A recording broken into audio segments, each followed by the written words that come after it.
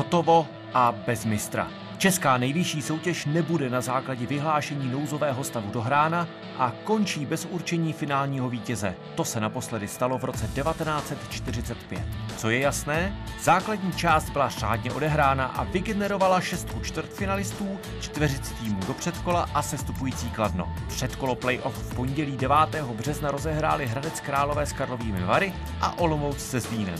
Východočeši vstoupili do série vítězstvím 3-1, Hanáci vyhráli 5-1. A samozřejmě tím, že jsme hráli doma, tak máme určitou povinnost um, si ten zápas uhrát. Jsem hrozně rád, že hráči podali výborný výkon a, a je to zatím první krok, nic, nic víc.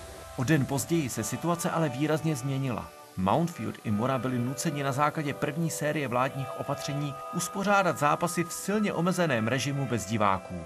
Byl to v skutku smutný pohled na jindy bouřící tribuny, jak ze její prázdnotou. Energie dokázala v odvetě vyhrát pod Bílou věží 5-3, Zlín v Olomouci 3-1. Ten výsledek je pro nás samozřejmě potěšující, když jsme neproměnili uh, dvakrát přesilovku do třech, ale nemusí nás to nakonec mrzet. Samozřejmostí hodnocení utkání byly i komentáře jejich účastníků k chybějícím fanouškům na stadionech. Vidíte, že to je smutný příběh tady. To prostě, jestli by toto se mělo hrát až do finále někde, tak tak věřím, že to něčemu pomůže. Myslím si, že okay, vůbec, ale nerad bych to nějak hanil nebo něco ten sport, ale to se mi nelíbí.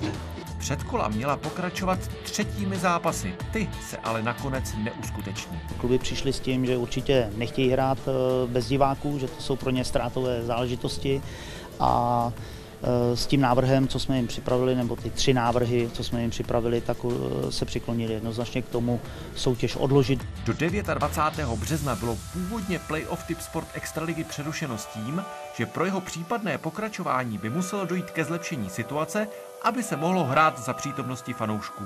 To se nestalo. Naopak, Vyhlášení nouzového stavu dalo pomyslné razítko na předčasné ukončení ročníku 2019-2020. Hokejového mistra České republiky pro tuto sezonu tak nepoznáme. Naopak prezidentský pohár Liberci nikdo nevezme, neboť základní část byla řádně odehrána. Jasné je také obsazení příštího extraligového ročníku. Sestupující Kladno nahradí vítěz základní části šance ligy z Českých Budějovic. Jejich návrat do nejvyšší soutěže totiž posvětil výkonný výbor českého hokeje.